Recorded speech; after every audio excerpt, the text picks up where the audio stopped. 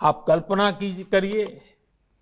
इस कोरोना काल में जब भारत ने 150 से ज़्यादा देशों के नागरिकों की मदद के लिए ज़रूरी दवाइयाँ भेजी, आज भारत ने दुनिया के अलग अलग देशों से अपने 50 लाख से अधिक नागरिकों को स्वदेश लाने का काम किया। जब भारत ने अनेकों देशों के हज़ारों नागरिकों को सुरक्षित उनके देश भेजा, जब आज भारत खुद कोरोना की वैक्सीन बना रहा है। दुनिया के बड़े बड़े देशों से भी तेज गति से टीकाकरण कर रहा है। जब भारत मानव जीवन की रक्षा को ध्यान में रखते हुए दुनिया भर को वैक्सीन पहुँचा रहा है, दे रहा है तो हमारे स्वतंत्रता सेनानियों को, जहाँ भी उनकी आत्मा होगी, ज़रूर गर्व महसूस होता होगा। साथियों, इस अभियान को सफल बनाने के लिए अभूतपूर्व प्रयासों की भी ज़रूरत है।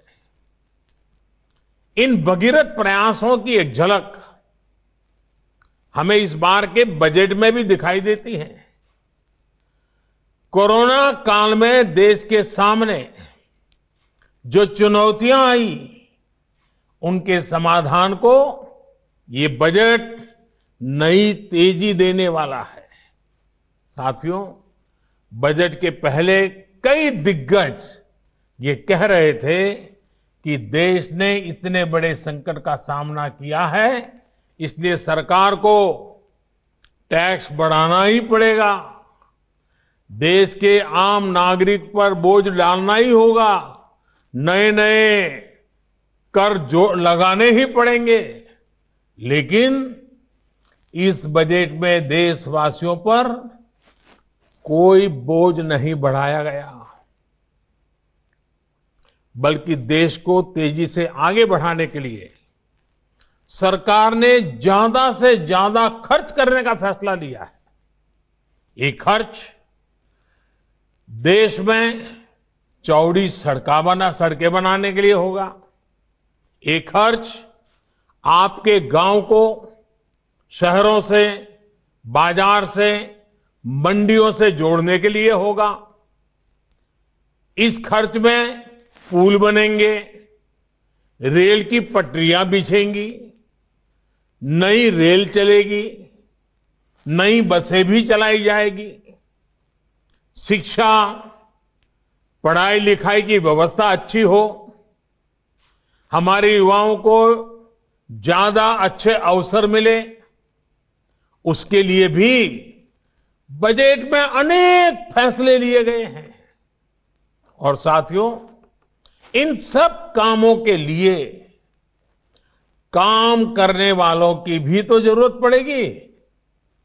जब सरकार निर्माण पर ज़्यादा खर्च करेगी तो देश के लाखों नौजवानों को रोज़गार भी मिलेगा। आमदनी के नए रास्ते खुलेंगे। साथियों, दशकों से हमारे देश में बजट का मतलब बस इतना ही हो गया था कि किसके नाम पर क्या घोषणा कर दी गई। बजट को वोट बैंक के हिसाब किताब का वही हिसाब किताब का वही खाता बना दिया गया था।